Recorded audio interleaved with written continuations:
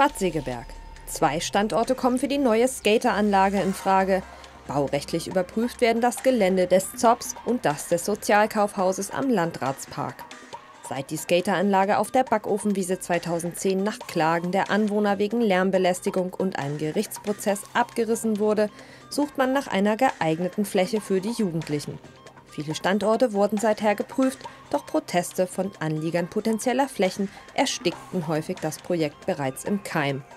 Die SPD befürwortet die Anlage an der Stelle, an der in den nächsten Monaten das marode ZOP-Gebäude abgerissen werden soll.